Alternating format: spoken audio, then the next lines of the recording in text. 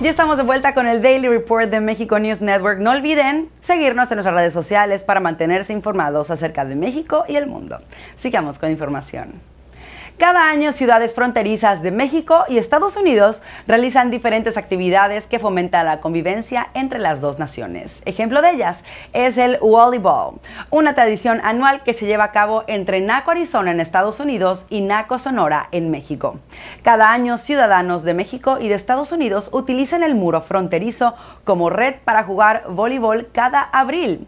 Este evento se lleva a cabo durante la conocida fiesta binacional y tiene como finalidad fortalecer las relaciones transnacionales positivas entre los dos países.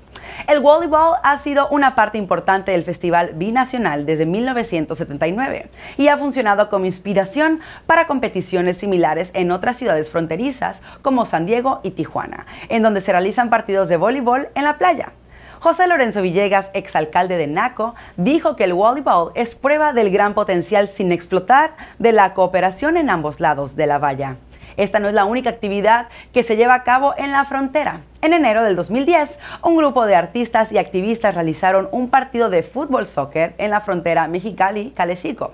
Cabe destacar que también se realizan actividades que difunden a las artes, como el Festival Fandango Fronterizo, en donde músicos de Tijuana y de San Diego realizan una confrontación de baile y canto.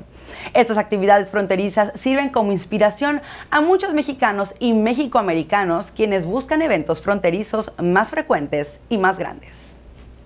Y bien, esto ha sido todo por hoy. Gracias por vernos. Mi nombre es Sofía Rattinger y no olviden seguirnos a través de Facebook, Twitter y Google Plus. Y también, por supuesto, ingresar a nuestra página de internet www.mexiconewsnetwork.com para conocer más información positiva sobre México y el mundo. Nosotros nos vemos durante la próxima transmisión. Hasta luego.